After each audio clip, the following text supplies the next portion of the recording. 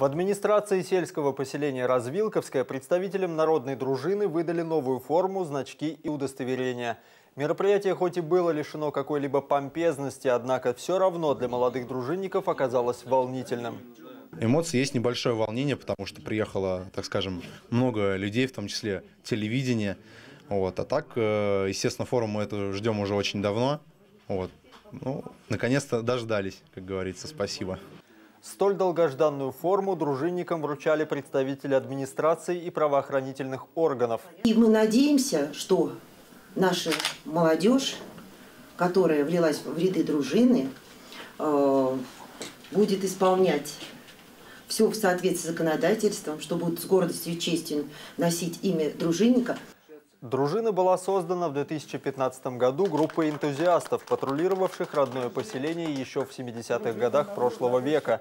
В данный момент в отряде 12 человек. Это активные молодые ребята, спортсмены. В дружине они на безвозмездной основе. Просто потому, говорят они, что хотят, чтобы в родном поселении был порядок. Однако администрация стремится поощрять их энтузиазм.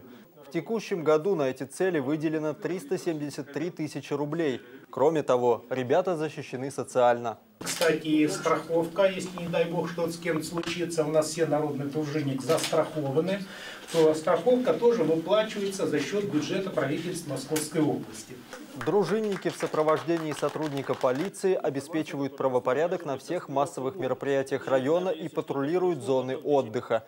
Теперь это делать отряд будет в новой форме, что, несомненно, поднимет его статус в глазах общественности.